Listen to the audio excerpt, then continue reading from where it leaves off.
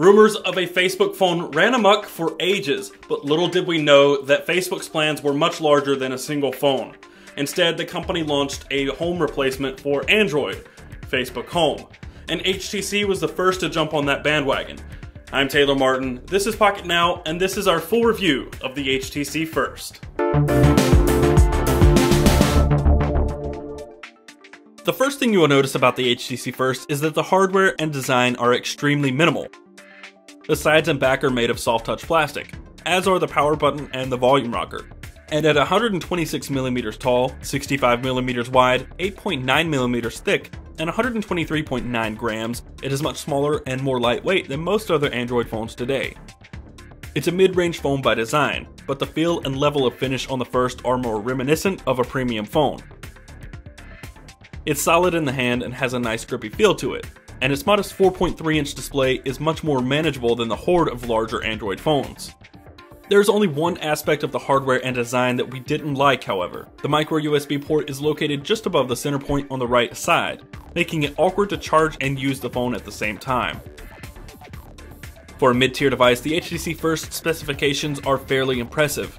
It packs a 1.4 GHz dual-core Snapdragon 400 chipset, 1GB of RAM, 16GB of fixed storage, a 5 megapixel camera with a 1.6 megapixel camera around front, a 2000 mAh battery, and AT&T LTE connectivity. Of all of its specifications, the display is easily the most notable feature. It measures only 4.3 inches diagonally, but it bears a resolution of 720p for a density of 342 pixels per inch. Of the Super LCD type, it boasts vibrant yet still fairly accurate colors, wide viewing angles, and decent visibility in bright sunlight.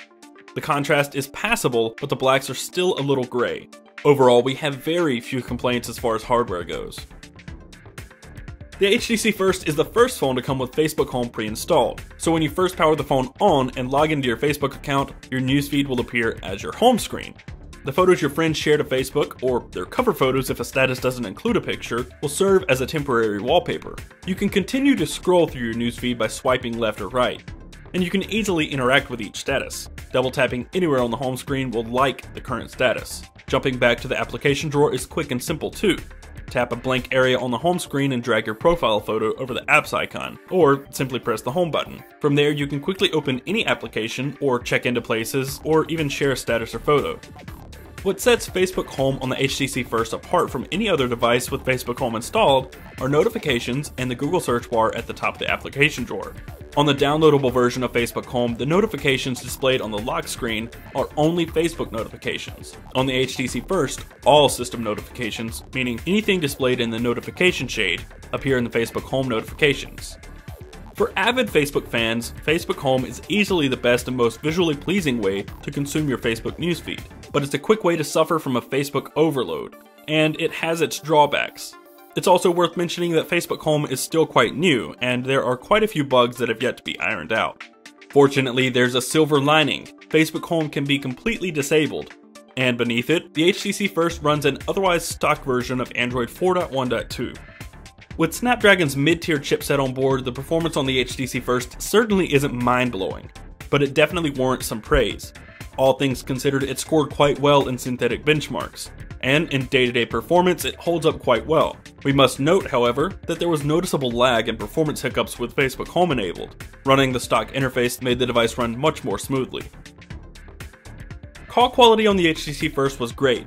The earpiece speaker is plenty loud, even in noisy environments, and the quality of audio was crisp. We had no complaints from people on the other end having trouble hearing us. Also, the loudspeaker for speakerphone was extremely loud and clear. The first also runs on AT&T's LTE network, and it featured some of the fastest speeds we've seen to date. We found battery life on the first to be decent, likely thanks to a more efficient processor and a smaller display. In normal usage, a full day without a supplementary charge was possible, but in heavy usage, the battery managed to drain much more quickly. In other words, the battery life isn't necessarily bad, but it could be better. Lastly, the camera on the first is probably its worst feature. The sensor is only 5 megapixels, and pictures tend to lack sufficient detail. It was quick to blow out whites and many images lacked proper contrast, giving the effect of a milky photo. When the camera was on point though, we were able to take some very impressive photos with the first, and color reproduction was spot on. However, the times it was great were few and far between. The HTC First, although a mid-range device, is a diamond in the rough.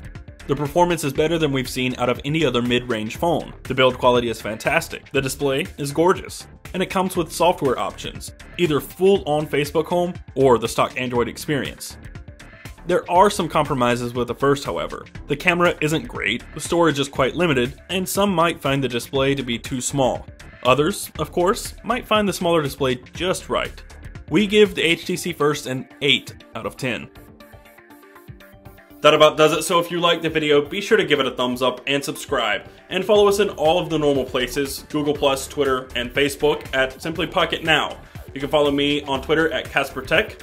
I'm Taylor Martin, and I will see you next time. The company instead launched a home... The company instead released a Facebook.